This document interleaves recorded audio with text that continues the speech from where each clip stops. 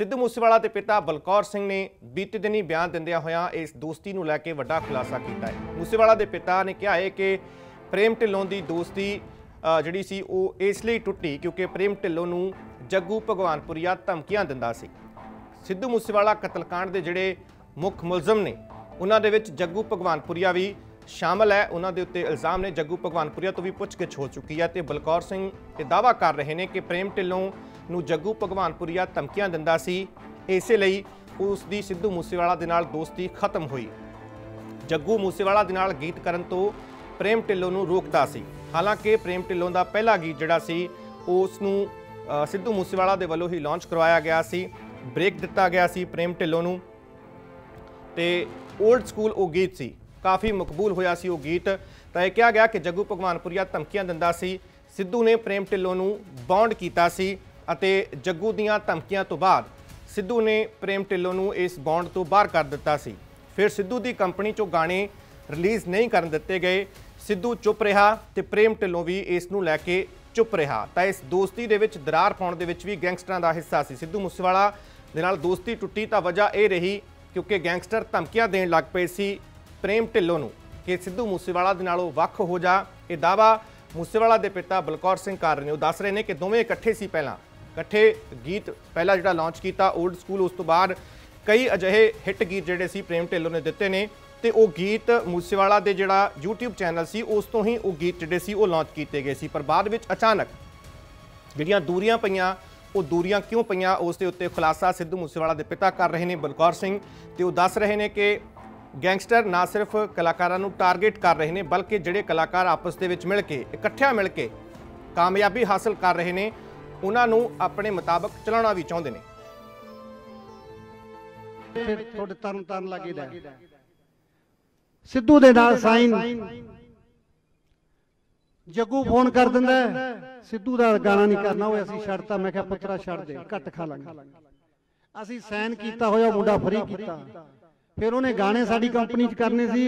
ਕਹਿੰਦਾ, ਸਿੱਧੂ ਦੇ ਨਹੀਂ ਕਰਨੇ, ਉਹਦੇ ਗਾਣੇ ਤੂੰ ਆਪਦੇ ਚੈਨਲ ਤੇ ਅਸੀਂ ਕਿਹਾ ਵੀ ਜਿਵੇਂ ਕਰ ਲੋ ਅਸੀਂ ਉਹ ਵੀ ਛੱਡਤੇ ਕਿੰਨੇ ਕੁ ਸਮਝੌਤੇ ਕਰਦੇ ਰੋਜ਼ ਮਰਨ ਨਾਲ ਤਾਂ ਵੀਰੋ ਇੱਕ ਵਾਰੀ ਮਰਿਆ ਚੰਗਾ। ਮੈਂ ਜਿੱਥੇ ਮੈਨੂੰ ਲੱਗਦਾ ਵੀ ਮੈਂ ਇੱਕ ਔਤਨ ਖੱਤਿਆਂ ਦੀ ਸ਼੍ਰੇਣੀ 'ਚ ਸ਼ਾਮਲ ਹੋ ਗਿਆ ਕੋਈ ਗੱਲ। ਪਰ ਇੱਕ ਗੱਲ ਦਾ ਮਾਣ ਵੀ ਮਹਿਸੂਸ ਹੁੰਦਾ ਵੀ ਜਿੰਨਾ ਚਿਰ ਜਿਉਇਆ ਨੀਵੀਂ ਤਾਂ ਪਾਈ ਨਹੀਂ ਅੱਗੇ ਕਾਲ ਪੁਰਖ ਦੀ ਮਰਜ਼ੀ ਆ ਬੈਠਾ ਮੁੰਡਾ ਪ੍ਰੇਮ ਇੱਥੇ ਤੁਹਾਡੇ ਤਰਨ ਤਰਨ ਲੱਗੇ ਦਾ।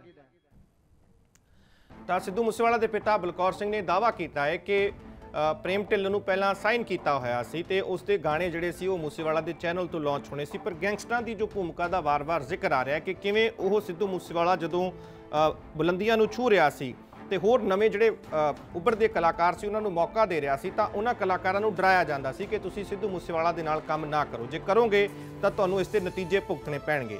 ਪ੍ਰੇਮ ਢਿੱਲੋਂ ਨੂੰ ਜਦੋਂ ਅਜਿਹੀਆਂ ਧਮਕੀਆਂ ਦਿੱਤੀਆਂ ਗਈਆਂ ਬਲਕੌਰ ਸਿੰਘ ਉਹਨਾਂ ਦੇ ਮੁਤਾਬਕ, ਤਾਂ ਭਗਵਾਨਪੁਰੀਆ ਗੈਂਗ ਦੇ ਵੱਲੋਂ ਇਹ ਧਮਕੀਆਂ ਪ੍ਰੇਮ ਢਿੱਲੋਂ ਨੂੰ ਮਿਲਣ ਲੱਗੀਆਂ ਕਿ ਤੂੰ ਵੱਖਰੇ ਤੌਰ ਤੇ ਗੀਤ ਕਰ ਜੇ ਤੇਰੇ ਗਾਣੇ ਮੂਸੇਵਾਲਾ ਦੇ ਚੈਨਲ ਤੋਂ ਲਾਂਚ ਹੋਣਗੇ, ਤਾਂ ਇਸ ਦੇ ਨਤੀਜੇ ਤੈਨੂੰ ਭੁਗਤਣੇ ਪੈਣਗੇ ਤੇ ਇਸੇ ਲਈ ਦੋਵੇਂ ਵੱਖ ਹੋ ਗਏ ਸੀ ਤੇ ਜੋ ਬੌਂਡ ਵੀ ਸਾਈਨ ਕੀਤਾ ਸੀ ਮੂਸੇਵਾਲਾ ਦੇ ਨਾਲ, ਪ੍ਰੇਮ ਢਿੱਲੋਂ ਨੇ ਉਸ ਬੌਂਡ ਤੋਂ ਉਸ ਨੂੰ ਆਜ਼ਾਦ ਕਰ ਦਿੱਤਾ ਗਿਆ ਸੀ। ਵੱਖਰੇ ਤੌਰ ਦੇ ਉੱਤੇ ਪ੍ਰੇਮ ਢਿੱਲੋਂ ਨੇ ਆਪਣੇ ਰਾਹ ਜਿਹੜੇ ਚੁਣ ਰਹੇ ਸੀ।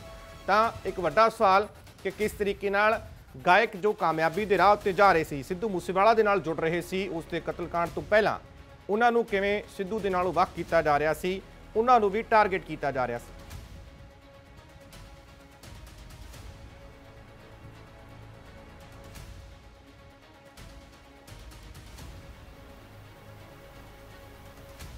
ਤਾਂ ਸਿੱਧੂ ਮੂਸੇਵਾਲਾ ਕਤਲकांड ਦੇ ਵਿੱਚ ਬਹੁਤ ਸਾਰੇ ਗੈਂਗਸਟਰਾਂ ਦੀ ਸ਼ਮੂਲੀਅਤ ਦਾ ਜ਼ਿਕਰ ਹੁਣ ਤੱਕ ਆ ਚੁੱਕਿਆ ਹੈ ਕਈ ਪੁਲਿਸ ਦੀ ਗ੍ਰਿਫਤ ਵਿੱਚ ਨੇ, ਪਰ ਇਹ ਗੈਂਗਸਟਰ ਕਿਵੇਂ ਮੂਸੇਵਾਲਾ ਦੇ ਕਤਲकांड ਤੋਂ ਪਹਿਲਾਂ ਹੀ ਉਸ ਦੀ ਜ਼ਿੰਦਗੀ ਨੂੰ ਪ੍ਰਭਾਵਿਤ ਕਰ ਰਹੇ ਸੀ, ਉਸ ਨਾਲ ਜੁੜੇ ਲੋਕਾਂ ਨੂੰ ਪ੍ਰਭਾਵਿਤ ਕਰ ਰਹੇ ਸੀ ਇੱਕ ਵੱਡਾ ਖੁਲਾਸਾ ਕਿ ਕਿਵੇਂ ਪ੍ਰੇਮ ਢਿੱਲੋਂ ਤੇ ਸਿੱਧੂ ਮੂਸੇਵਾਲਾ ਦੀ ਦੋਸਤੀ ਨੂੰ ਇੱਕ ਤਰੀਕੇ ਨਾਲ ਤੋੜ ਤੜਵਾ ਦਿੱਤਾ ਗਿਆ ਤੇ ਉਸ ਦੇ ਵਿੱਚ ਦੋਵਾਂ ਦੇ ਜਿਹੜੇ ਸਬੰਧ ਸੀ, ਉਹ ਖਤਮ ਕਰਨ ਦੀ ਕੋਸ਼ਿਸ਼ ਕੀਤੀ ਗਈ। ਮਾਨਸਾ ਤੋਂ ਸਾਡੇ ਪੱਤਰਕਾਰ ਅਮਰਜੀਤ ਸਿੰਘ ਫੋਨ ਲਾਈਨ ਤੇ ਜੁੜੇ ਨੇ। ਅਮਰਜੀਤ, ਇੱਕ ਬਹੁਤ ਵੱਡਾ ਖੁਲਾਸਾ ਇਸ ਨੂੰ ਕਹਿ ਸਕਦੇ ਹਾਂ ਕਿ ਮੂਸੇਵਾਲਾ ਦੇ ਪਿਤਾ ਨੇ ਗੈਂਗਸਟਰਾਂ ਨੂੰ ਲੈ ਕੇ ਜੋ ਇਹ ਦੱਸ ਰਹੇ ਨੇ ਕਿ ਮੁਸਤੇ ਕਤਲकांड ਤੋਂ ਪਹਿਲਾਂ ਹੀ ਗੈਂਗਸਟਰ ਸਿੱਧੂ ਮੂਸੇਵਾਲਾ ਦੇ ਮਗਰ ਪਏ ਹੋਏ ਸੀ ਤੇ ਪ੍ਰੇਮ ਢਿੱਲੋਂ ਨਾਲ ਜੋ ਦੋਸਤੀ ਸੀ, ਉਸ ਨੂੰ ਵੀ ਖਤਮ ਕਰਵਾ ਦਿੱਤਾ ਗਿਆ। ਅਮਰਜੀਤ। ਬਿਲਕੁਲ, ਦੇਖੋ ਕੁਲਵਿੰਦਰ, ਦੱਸਣਾ ਚਾਹਾਂਗਾ ਜਿਸ ਦਿਨ ਤੋਂ ਸਿੱਧੂ ਮੂਸੇਵਾਲੇ ਦਾ ਕਤਲ ਕੀਤਾ ਗਿਆ, ਤਾਂ ਹਰ ਬਾਰ ਜਿਹੜਾ ਦੇਖਿਆ ਜਾਂਦਾ, ਐਤਵਾਰ ਦੀ ਪਿੰਡ ਦੀ ਗੱਲ ਕੀਤੀ ਜਾਵੇ ਜਾਂ ਬਾਹਰ ਜਿੱਥੇ ਵੀ ਸੰਬੋਧਨ ਕਰਦੇ ਨੇ ਸਿੱਧੂ ਮੂਸੇਵਾਲੇ ਦੇ ਪਿਤਾ, ਤਾਂ ਹਰ ਬਾਰ ਜਿਹੜਾ ਆਪਣੇ ਪੁੱਤਰ ਦਾ ਦਰਦ ਬਿਆਨ ਕਰਦੇ ਨੇ, ਕਿਉਂਕਿ ਇਕਲੌਤਾ ਪੁੱਤਰ ਸੀ ਸਿੱਧੂ ਮੂਸੇਵਾਲਾ, ਉਹਨਾਂ ਵੱਲੋਂ ਕਿਹਾ ਗਿਆ ਗਿਆ ਕਿ ਪੂਰੀ ਸਾਜ਼ਿਸ਼ ਦੇ ਤਹਿਤ ਜਿਹੜਾ ਸਿੱਧੂ ਮੂਸੇਵਾਲੇ ਦਾ ਕਤਲ ਕੀਤਾ ਗਿਆ, ਤਾਂ ਬੀਤੇ ਦਿਨ ਦੀਪ ਸਿੱਧੂ ਦੇ ਸਮਾਗਮ ਦੇ ਵਿੱਚ ਪਹੁੰਚੇ ਸੀ, ਜਿੱਥੇ ਉਹਨਾਂ ਨੇ ਸੰਬੋਧਨ ਕਰਦੇ ਹੋਏ ਬੜੇ ਭਾਵੁਕ ਹੋ ਕੇ ਜਿਹੜਾ ਕਿਹਾ ਗਿਆ ਹੈ ਕਿ ਜਿਸ ਤਰ੍ਹਾਂ ਉਸਦੇ ਬੇਟੇ ਦੇ ਨਾਲ ਜੋ ਵੀ ਬੰਦਾ ਜੁੜਦਾ ਸੀ ਤਾਂ ਉਸ ਨੂੰ ਜਿਹੜਾ ਧਮਕਾਇਆ ਜਾਂਦਾ ਸੀ।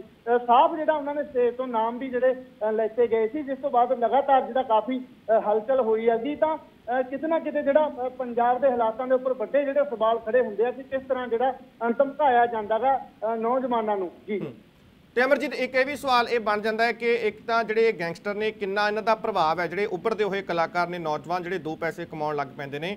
ਸਵਾਲ ਇਹ ਵੀ ਹੈ ਕਿ ਮੂਸੇਵਾਲਾ ਦੇ ਨਾਲ ਹੋਰ ਬਹੁਤ ਸਾਰੇ ਜਿਹੜੇ ਨੌਜਵਾਨ ਕਲਾਕਾਰ ਜੁੜੇ ਸੀ, ਜਿਨ੍ਹਾਂ ਨੂੰ ਬ੍ਰੇਕ ਦਿੱਤਾ ਸੀ ਜਾਂ ਉਹਨਾਂ ਦੇ ਗਾਣਿਆਂ ਦੇ ਵਿੱਚ ਫੀਚਰ ਕੀਤਾ ਸੀ ਮੂਸੇਵਾਲਾ ਨੇ, ਤਾਂ ਇਹ ਵੀ ਸਵਾਲ ਬਣ ਜਾਂਦਾ ਹੈ ਕਿ ਕਿਤਨਾ ਕਿਤੇ ਉਹ ਵੀ ਇਹਨਾਂ ਗੈਂਗਸਟਰਾਂ ਤੋਂ ਪ੍ਰਭਾਵਿਤ ਹੋਣਗੇ, ਉਹਨਾਂ ਦੇ ਦਬਾਏ ਹੋਏ ਹੋਣਗੇ, ਉਹਨਾਂ ਦੀਆਂ, ਉਹਨਾਂ ਨੂੰ ਇਸ ਤਰੀਕੇ ਡਰਾਇਆ ਜਾਂਦਾ ਹੋਵੇਗਾ।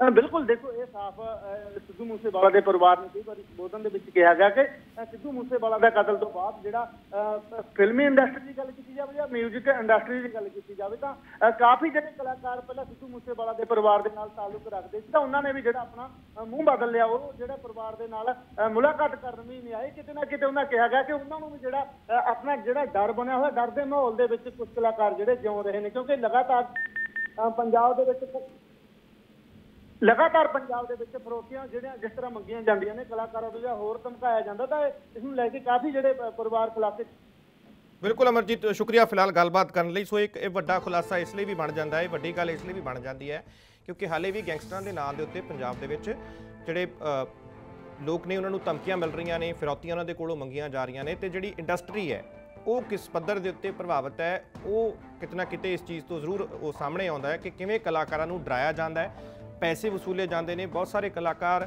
ਚੁੱਪ ਵੀ ਹੋਣਗੇ, ਭਾਵੇਂ ਡਰ ਡਰ ਹੋਵੇ ਜਾਂ ਸਿੱਧੂ ਮੂਸੇਵਾਲਾ ਦੇ ਕਤਲ ਕਾਂਡ ਤੋਂ ਬਾਅਦ ਉਹਨਾਂ ਦੇ ਮਨਾਂ ਦੇ ਵਿੱਚ ਕਿਤਨਾ ਕਿਤੇ ਇਹਨਾਂ ਗੈਂਗਸਟਰਾਂ ਨੇ ਹੋਰ ਡਰ ਜਿਹੜਾ ਹੈ ਉਹ ਪੈਦਾ ਕੀਤਾ ਹੈ।